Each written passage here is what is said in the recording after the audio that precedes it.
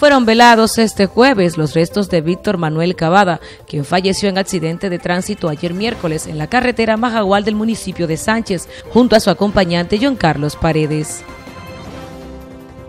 ¿Cómo definir a Víctor? Víctor era un hombre excepcional, un excelente padre, hijo.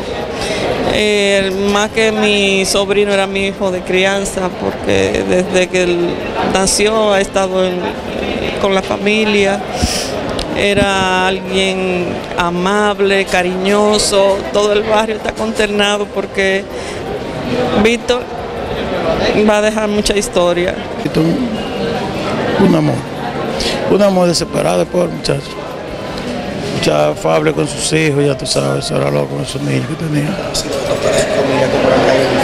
¿Cómo? Ah, Dios mío. Destrozado, O sea que él era hijo de la doctora Acabada, de, chiquitico, de, día, eh, es muy lamentable una persona joven que era trabajadora, dedicada a su trabajo, es lamentable lo que ocurre en nuestro país. Las carreteras de este país son demasiado peligrosas.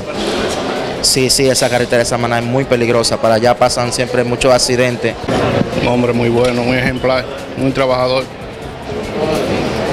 Una bella persona. Recordamos que el hecho ocurrió al mediodía del miércoles cuando el chofer perdió el control del camión de la Cervecería Nacional Dominicana que conducía en el referido tramo y perdió el control. Para NTN, su noticiero regional, Joanny Paulino.